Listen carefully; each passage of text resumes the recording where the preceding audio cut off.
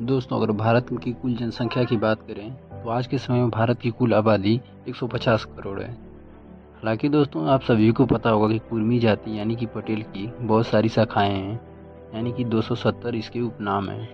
लेकिन दोस्तों, आज की इस वीडियो में हम केवल यह बात करने वाले हैं पटेल जाति की कुल कितनी पॉपुलेशन है। यानी कि वो तो था, कुर्मी जाति के अलग अलग रूप में लोग बिखरे हुए हैं, जो अलग अलग उपनाम लिखते हैं, जैसे कि कोई उर्मी लिखता है, कोई पटेल, कोई पाटीदार, कोई कुनबी, कोई पाटीदार। लेकिन दोस्तों, आज के समय में हम सिर्फ़ यह बात करने वाले हैं कि केवल पटेल समाज की, यानी कि जो लोग अपना टाइटल पटेल लिखते हैं, उनकी आबादी कुल भारत में कितनी है? दोस्तों, जैसा कि आप सभी को पता है कि भारत की आज के समय में कुल आबादी 150 करोड़ है।